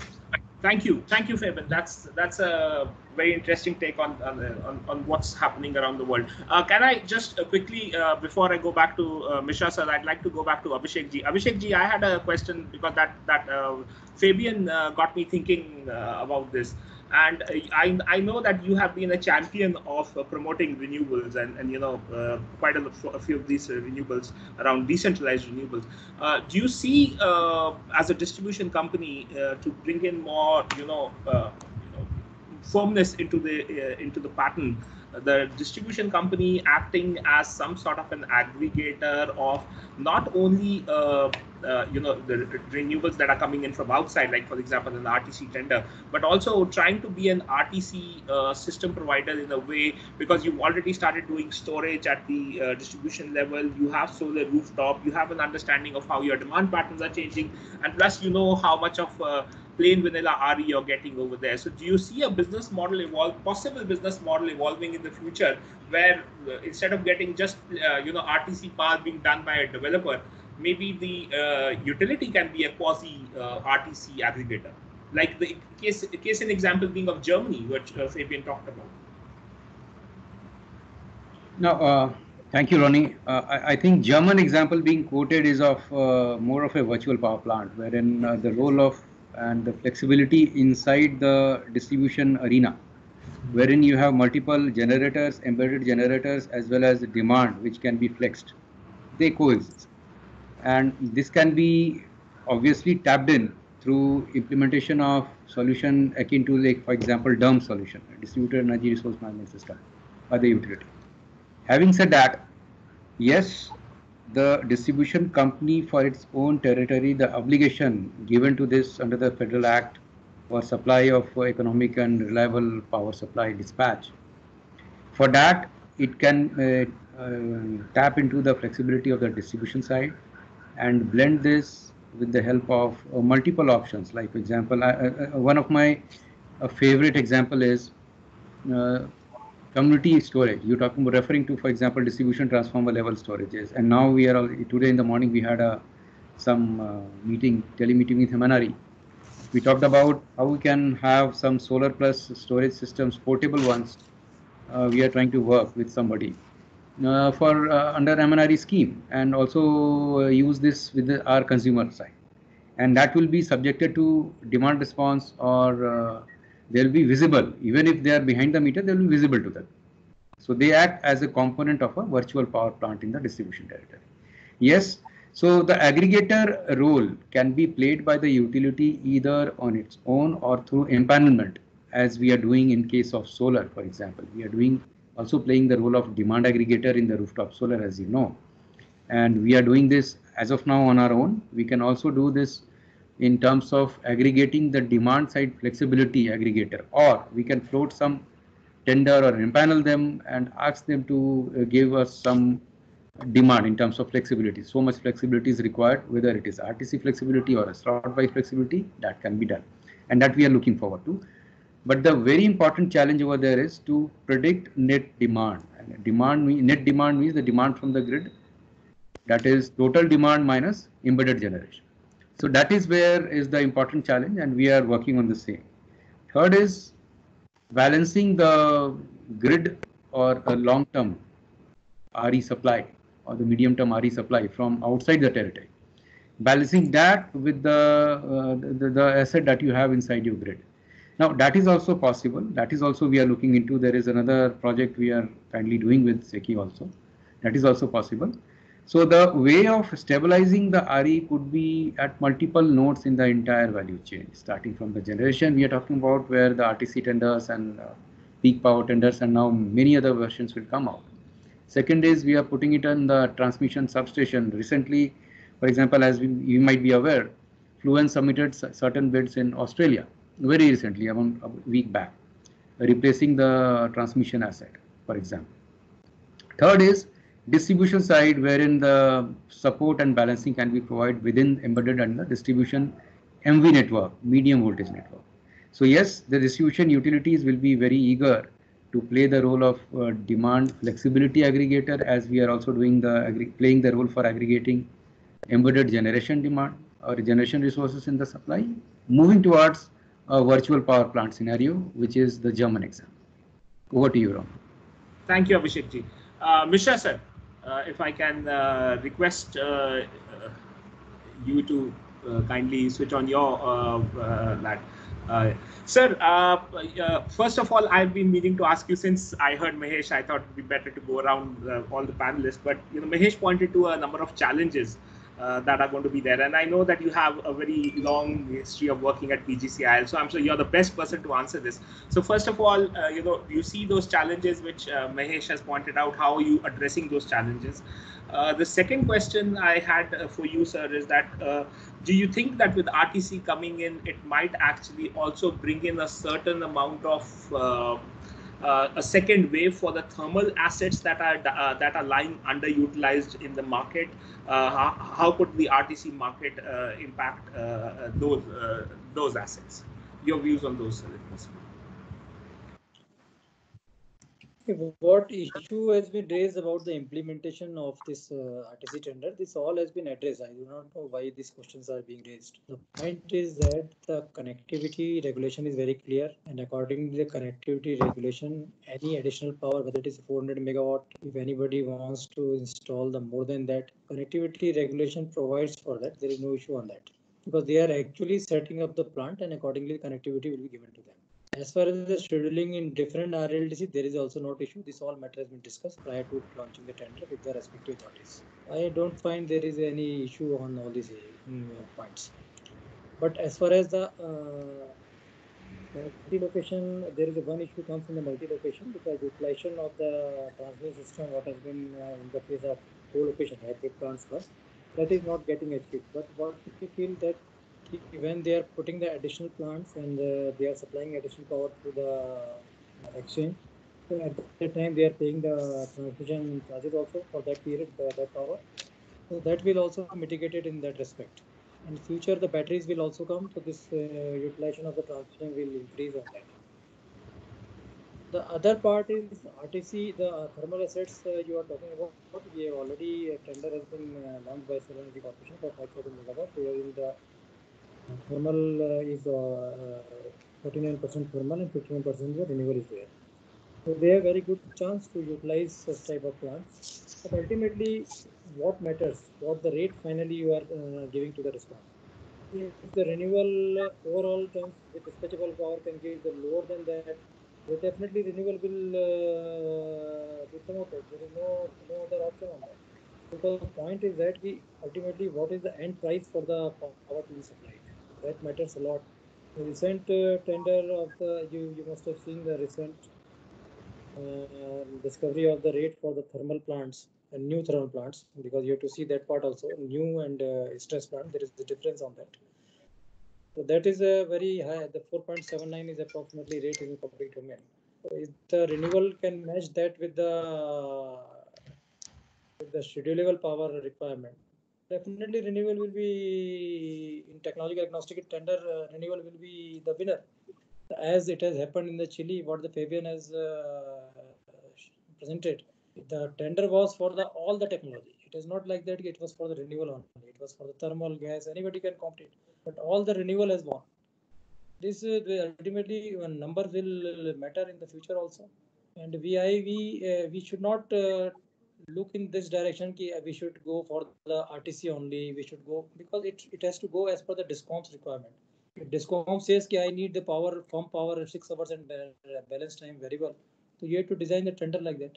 If DISCOM says I need 12 hour powers only and no power in the night, so you have to design power tender like that. That all is possible.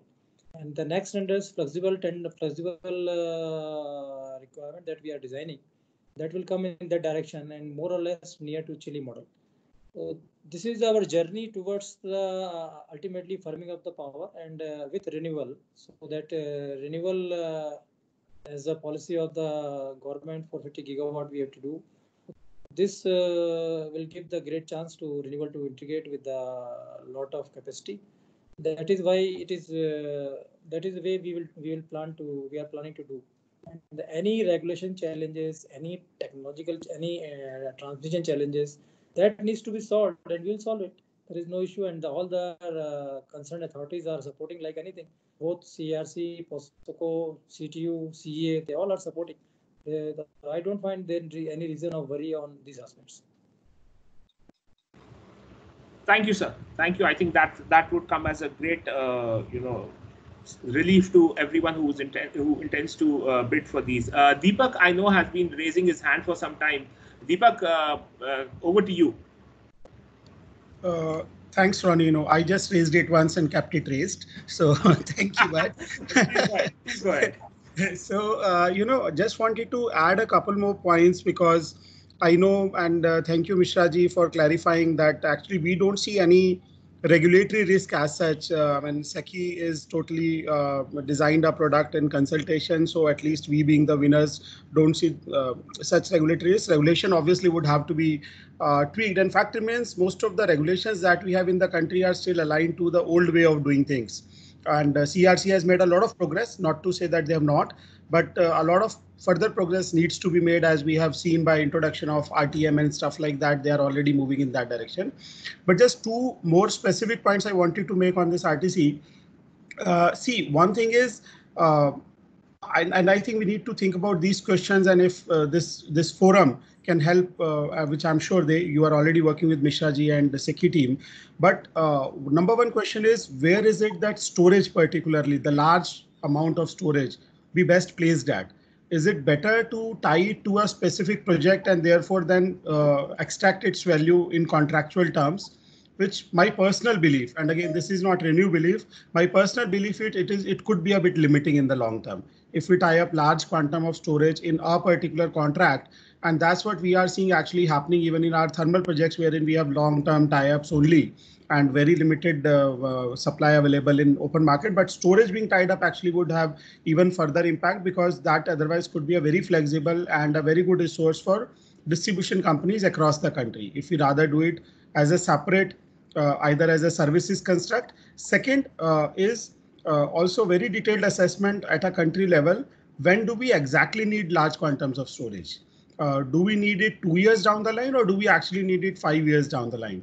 And uh, uh, again, uh, Mishraji and his team is fully aware of looking at whatever data we have, but also to this other group, like the, the, the audience who is there and the other participants who are there. I think these are the questions, unless answered, uh, we we should we would not want to get into a situation where uh, we uh, tie up discoms by virtue of products projects into a long-term high-cost solution, which they may not be very happy with three years or four years down the line when storage costs actually become sort of uh, whatever estimates I've seen, probably half of what they currently are. So, uh, so to that extent, SECI has been obviously very, very um, I mean, uh, on the on the front foot and have been understanding all these things, designing all the tenders that they're doing, but also to the uh, to the uh, USAID team who has been very very graciously helping India. If some of these aspects uh, you are already considering, then it would be good for uh, us as stakeholders of the sector to know what are your evaluations coming up to and what are the results and what are your sort of recommendations as an independent entity. Uh, thank you. Thank you, Deepak. I, I, I, I am glad to hear that you, you, you have some expectations of us, and we hope to address some of those uh, in the near future. Uh, but that brought, brings me to another question which I have for Surbhi. Uh, uh, Surbhi, you, uh, I know, and that's because I know a little bit about your work. You uh, worked uh, on this uh, conceptualizing this hybrid project in Andhra Pradesh uh, where there yeah. was a certain amount of storage. Uh, so I just wanted to know what there did you uh, evaluate the impact of storage as uh, Deepak was talking about uh, at different levels, and uh, can you share some more insights on that if if you have that that will help the audience understand sure. the impacts. Yeah. Sure. Uh, so uh, the background is that you know when we got engaged with the SECI on promoting the new and nascent technologies, uh, one of the uh, foremost ideas that we had in our mind is how to bring together various technologies, and there the story began uh, of combining solar and wind. And not that we invented it; it was under the discussions uh, by couple of players already. So we just you know helped that firm up pretty more in terms of you know so that it's uh, investment uh, ready. And then w- what we tried to do was to bring battery storage solutions to it as well. So what was the role of the battery storage was being evaluated at that time at very many levels. And we know all of us know who are working in the battery storage solution uh, sector that the value stacking of batteries is still lacking in the country. Not only in the country but in most of the other uh, parts of the world as well. So, what uh, because SECI being a commercial entity, we had to take their aspects, their um, objectives also into the consideration. So, the couple of uh, value stacking services that we could immediately make out of from the battery storage uh, solution was that maybe to avoid DSM penalties, maybe to avoid curtailment, and these were the two or three value services which were immediately, you know, visible uh, not that the others are not, but they are still not uh, monetized. Um, so that's why we concentrated our battery storage solution to a very small size, but it was like a step in the right direction. And I'm sure that this also contributed to the future tenders that have been coming up um, through SECI and the various policies that are being coming up through MNRE because battery storage solution at that point in time proved that it could be combined with solar, wind, etc., and can provide some value services to the market and can you know start the journey towards the dispatchable renewable energy power. Now, uh, going forward, also there are a couple of projects that we are working along with SECI on, and uh, there are certain battery storage solutions we are planning to deploy along with them. But nonetheless, I would also like to just one more point on the table that we are also working with Niti Aayog, in which we are looking at the entire gamut of the uh, sector. We are working with Power Grid and uh, uh, CEA and POSOCO on the uh, study of the battery storage requirements at the ISTS level. Then we are also working with a couple of states, including Gujarat, Madhya Pradesh, where we are doing the value stacking services. First of all, we are trying to identify if battery storage solutions are required, or even I would say the energy storage solutions are required. If batteries could be one of the proposals, if that is the way to go ahead, then what are the hotspots where this could be deployed, and what could be the value stacking for those particular deployment of services? So countries moving very fast. Niti Aayog and MAP, MNRE, all of them are very much keen to take it forward. So you'll uh, shortly see, you know, more developments happening. On the other side, the wholesale electricity markets are also being deepened. There are a lot of things that are happening. We are again supporting MOP on that.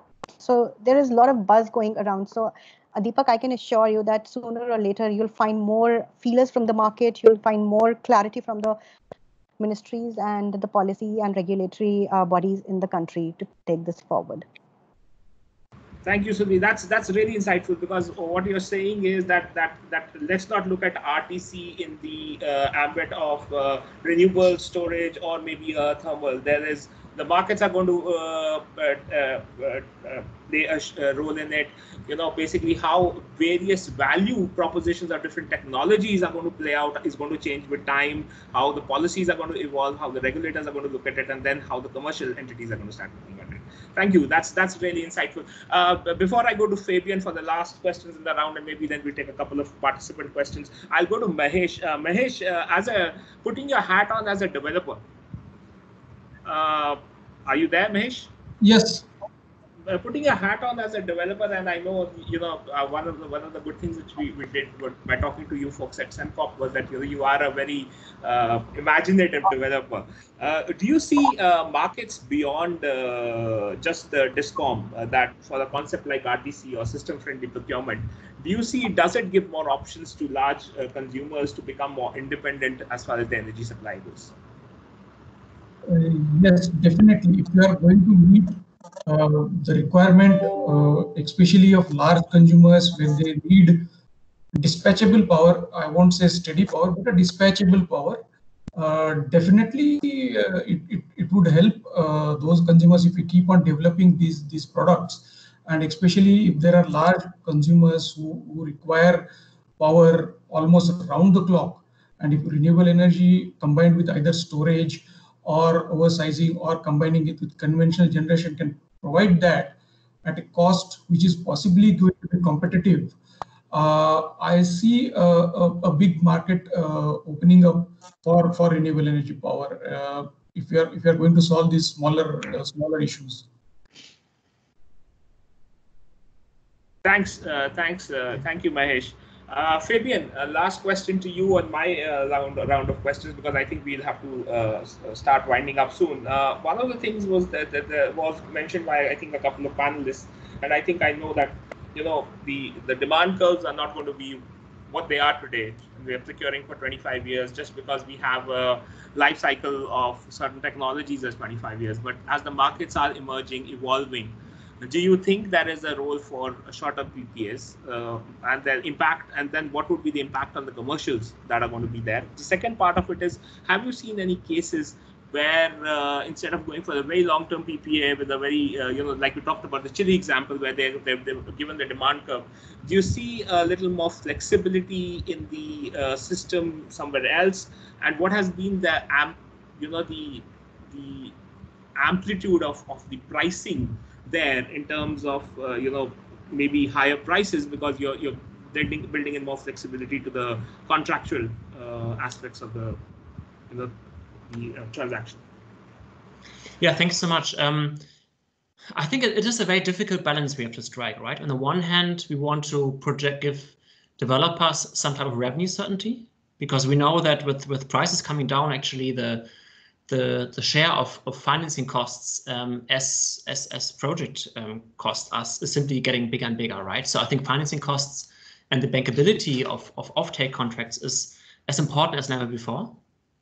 Um, on the other hand, we there's a certain risk that if you lock lock in now lock in basically with 20 year power purchase agreements certain certain duration patterns that we might not want in 10 years from now, we have a difficulty as well, right? So I think it's a really difficult balance to strike between somehow giving the developers some revenue certainty, and at the, at that time, at the other hand, um, making sure that uh, bidders have more kind of uh, the buyers have more um, flexibility in terms of of, of um, making sure that that generation is following demand. I think, I mean, yeah, I think you mentioned uh, Chile, for example, which is kind of trying to provide this this long-term um, revenue certainty by actually fixing these supply blocks for a long time period of time. I think alternatives are basically also if you have rather well-functioning alternative markets, right? So, for example, if you have a wholesale market which is rather well-functioning, then we see cases, for example, like in Denmark, where where developers say we actually don't need any um, any PPAs anymore with the government or with private users. We simply only sell at the merchant market. I think there was a strong trend, particularly in Europe. We saw that the people expected that wholesale market prices would increase, and therefore suddenly wholesale markets became much more attractive, the long-term PPAs, because often the revenues you could actually get at long-term wholesale markets were higher than the revenues you could get at, at PPAs. That trend has been reversed a bit now through the COVID-19 situation, right? I mean, with economic lockdowns, with with the fear of of, of economic recessions, um, wholesale market prices also in countries where they were rather well developed, they sometimes dropped by 25%, 30%. And um, I think that's, of course, for, for, for bidders that are going after pure merchant projects is rather challenging. So actually something interim, something where you basically have a bit shorter PPAs can be attractive, but they can only be attractive if the developers know that after a certain amount of, of, of years, when the PPA is over, they will still be able to sell the power. Um, something that actually I found very interesting in, in India, which uh, seems to be a, a, to be applied sometimes, is that some developers are now already ensuring that a certain share of their power is being delivered um, to, to um, through a PPA to the DISCOM on a long-term offtake contract, giving the, them some revenue certainty. And another share of the generation is basically sold freely at the at the wholesale market, which currently is which at least half a year ago was quite attractive. So we might also be seeing situations where where developers are trying to get a certain revenue certainty by selling some of their power on rather like long-term offtake contracts and other parts of the power reacting more on short-term um, requirements. I think that's something we can basically see that could be very attractive to India also if we have somehow have a system where where we have basically more flexibility through more offtake opportunities for developers. On the other hand, we still are able to provide them with a certain revenue certainty by yeah, taking off part of the power on long-term price. And over to you. Thank you, Fabian. Thank you. Uh, now I will uh, just take a couple of uh, questions from the uh, audience, if that's okay. And one of the questions I have uh, from a very old uh, and respected renewable energy storage player. I think this is this is for Mr. Mishra and Abhishek ji. the question is, could you clarify if the RTC tenders are leading to deployment of dispatchable RE what is the pre preference of discoms between firm peaking power tenders versus RTC tenders, given that many discoms already have long-term contracts signed for meeting their uh, base demand curve? And what is what are they going to do with the surplus power uh, available during the off-peak periods? This RTC tender has been especially designed for on the demand of the discom. It has not been uh, open for the market this tender has been already the based on some response requirements. So this, uh, if is, you see the requirement of the DTNS, it is a flat demand throughout the day because most of the load is industrial load. There is no variation at all. So right. They they are already some 200 megawatt. They their uh, time is over for one plant. They do they in place of that they have taken this. So this for the specific requirement they have asked for this right sir. any thoughts so, you know, there's this uh, this thing I, I know it's it's for the developer to manage this uh, issue of uh, you know sizing of the project but there are uh, chances that to meet the requirements of the uh, of the contract they would be oversizing their uh, uh, their plants. And there's going to be especially in peak periods you know peak solar periods like you know during the summers uh, somewhere around noon there's going to be excess power available. And that power of course the the first thing is from a project point of view is going to get into the uh, go into the trading market. But then as this uh, size of these tenders in, in increases or other solar comes in do you see a huge glut coming in uh, to the market especially when you're looking at it from the time value of solar and uh, are there any thoughts on how uh, uh, what these implications will be? Just your thoughts. I mean i know you, those are not something that you can uh, deliberate much on but your, your initial thoughts. Yeah, but this uh, um, this basically extra power what they are going to generate uh, because of the oversizing that tender allows them to sell to the market. While bidding during the bidding they must have evaluated all these things and accordingly they have given the final rates to us so this uh, and connectivity they are getting getting as per the plan they are uh, connecting to the different stations. I don't think there is any issue selling to the market, and they must have evaluated on that aspect. ReNew can tell better on this. Absolutely, sir. Uh, Abhishek ji, any thoughts on uh, you know specifically the, the, question that was there in terms of the uh, difference and the preference for RTC versus uh, you know specific peaking power that you would want? No, uh, Ronnie, uh, there could be an optimal mix of both the things. It's not a question at all. So uh, today I'll, I'll tell you what is happening. The problem with us is the way like Delhi, for example, if you take Delhi as an example, the, if you take the variability in the load, it is very, very high on a daily and a seasonal time. Now, banking was an option to optimize that. But then off late, what we have seen is banking slot wise is not available. It is only RTC. So today also, if you imagine, uh, today we are sitting in June. We, due to the weather vagaries, we are both selling as well as purchasing in the exchange on day ahead basis. I mean, DAM. And uh, this is due to the peculiar nature that the minimum technical limit of the conventional coal-based resources and the optimal mix as per my portfolio, the PPAs that we have signed, is forcing me to do that. Now with the upcoming uh, tenders like RTC and the peaking power, both kinds of flavors are available from SECI's portfolio. Uh, we can have a suitable mix which optimizes on A, the surplus during the off-peak periods, where I am today forced to sell on the exchange at a rate which is lower than many a times, which is uh, lower than the rate of procurement. B, RTC in true terms, we will see, uh, as Mishra sir also said, I mean, as per the requirement, the RTC also what kind of CUF because the renewable power now is no longer being seen. When we are talking about the firmness and the variability has to be catered to when we talk about that aspect we are also looking at renewable power as a power resource not only as a RPO resource renewable purchase obligation. So only CUF will not solve the issue. So CUF is uh, I know in the backend it is tied up with the firm kilowatt or megawatt capacity as well so yes, to answer your query, a suitable mix of portfolio, both the RTC flavor as well as peaking power flavor will be suitable for the city like Delhi. I mean, the ratio could vary from state to state depending upon the demand curve. B, a very important fact which has come up too, and we are also facing the challenge. What people are saying, or uh, even the regulator might be saying, I'm not sure, uh, to meet your power and RPO obligation, renewable purchase obligation, there are two ways. A, you, you have this dispatchable renewable energy power source. B, why don't you go for a conventional coal-based uh, source plus REC? So which is more competitive in terms of price? Because both ways you are going to get some kind of firmness. So that is another aspect we have to see when we are designing such kind of contracts uh, especially now that uh, there is some regulation from CERC, they have said that one rupee per unit is the ceiling tariff for uh, REC, non-solar and solar both. So that is also another round of opportunity as a challenge that we have to see. So I am in favor, like for example, if we have a dispatchable RE and that too price competitive, nothing like that. So anything which is over and above conventional non-clean sources, even if the non-clean sources are cheaper, is better. But now that uh, one step is already achieved, that grid parity of the pure vanilla RE is there. The next challenge is to make the dispatchable REC alter grid parity. So grid parity could be, one of the definition could be at what rate this conventional power is available plus REC.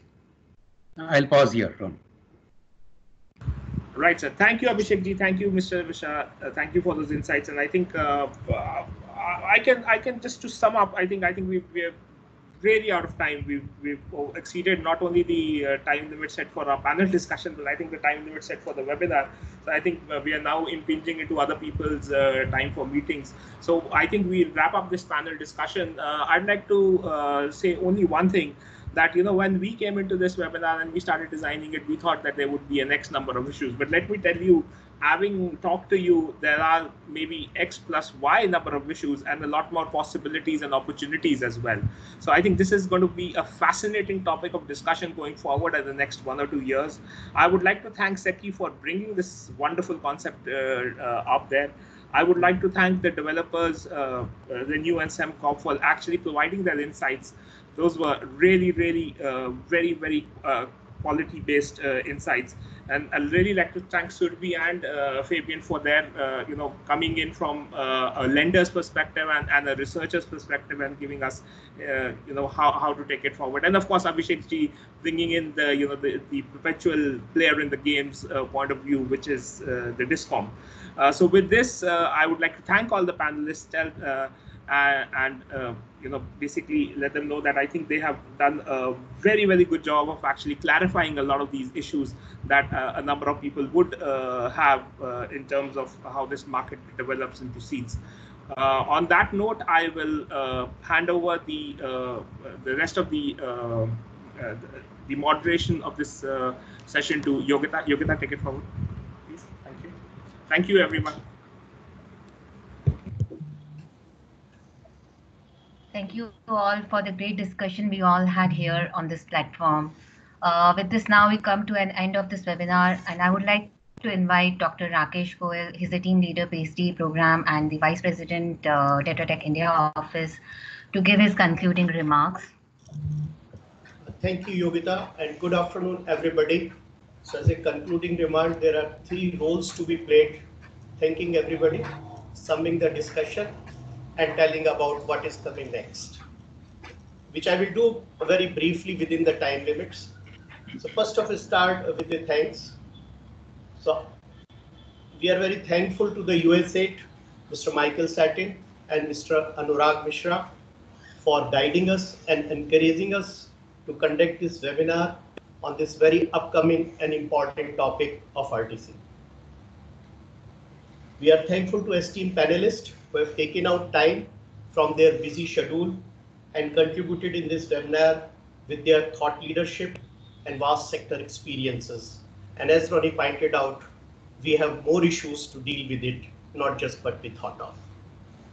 We are thankful to the participants who participated in large number, 128, 128, who joined this webinar, shared their questions, which will help us in terms of deciding the next course of action. And all those questions which we could not answer because of the paucity of time, let me assure them that we will take them and one-to-one -one basis will respond to them as well.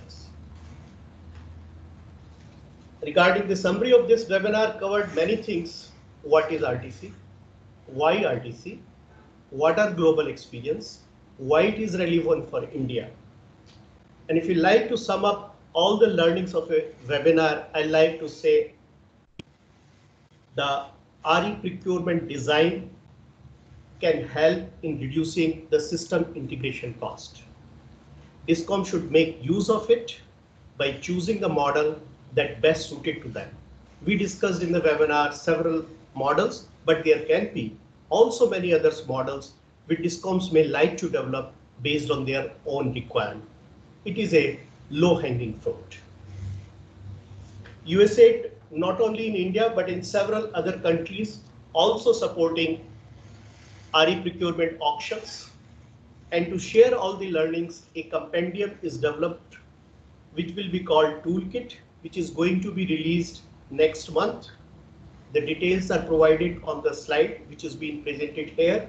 So look out for those platforms which are mentioned on the page D and where that will be available for that. Thank you once again and goodbye.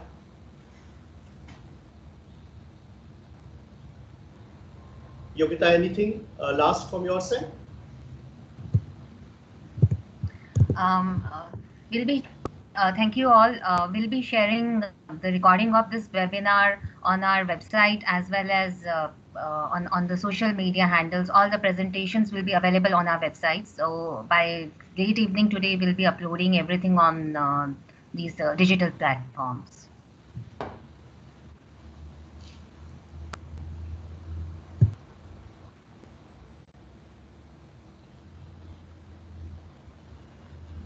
Thank you, everyone. Uh, you can hang up now.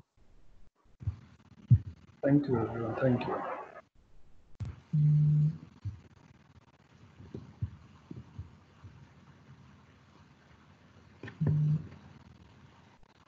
嗯